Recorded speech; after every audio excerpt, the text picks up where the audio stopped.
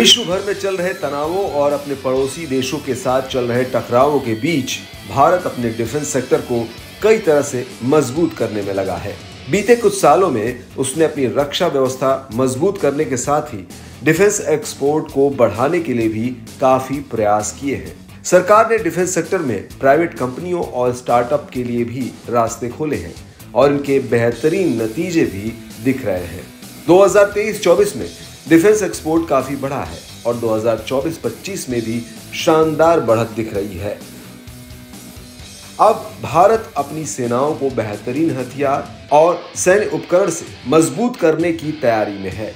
इसके तहत भारत सरकार अगले साल नौसेना में 12 नए वॉरशिप यानी युद्धपोत शामिल करने की तैयारी में है। ये कदम भारतीय नौसेना की तत्परता और हिंद महासागर क्षेत्र में प्रभुत्व बढ़ाने की रणनीति का हिस्सा है। हाल की रिपोर्ट और पिछली घोषणाओं से संकेत मिलता है कि नौसेना को अगले 12 महीनों में एक डिस्ट्रॉयर या विध्वंसक, एक पनडुब्बी और तीन सर्वे जहाज़ सहित कुल 12 जहाज़ मिलेंगे। नौसेना को मिलने वाला डिस्ट्रॉयर उन्नत हथियारों से लैस है। इन हथियारों में, सतह से हवा में मार करने वाली मिसाइलें और लंबी दूरी की क्रूज मिसाइलें शामिल हैं।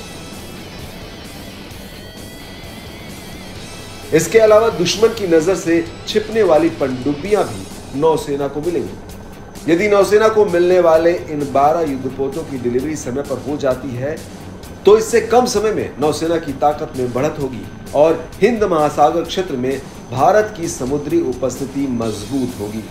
इसके साथ ही भारतीय सेना के टैंक में भी बदलाव किए जाने की तैयारी है। सेना के टी सेवेंटी टू टैंक्स को बदलकर उनकी जगह 1700 से अधिक फ्यूचर रेडी कॉम्बैट व्हीकल तैनात किए जाएँगे। खास बात यह भी है कि यह हथियार 60 फ़ीसदी स्वदेशी होंगे। वायुसेना के फाइटर जेट्स को भी आधुनिक एरो इंजन से लैस किए जाने की तैयारी है। एक खास बात यह भी है कि भारतीय सेना के इन हथियारों को लेकर भारत का इस बात पर भी काफ़ी ज़्यादा ज़ोर है कि इनका ज़्यादा से ज़्यादा हिस्सा स्वदेशी निर्मित हो। इससे हथियारों की मरम्मत जैसे कामों के लिए दूसरे देश पर निर्भर नहीं होना पड़ेगा।